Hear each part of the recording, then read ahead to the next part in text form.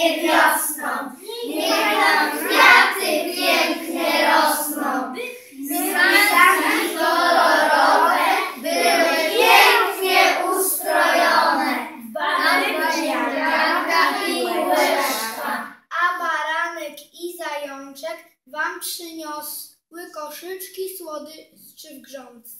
Dziś baranek poświęcony patrzy sobie w obie strony. Życzy zdrowia, szczęścia i smacznego jajeczka.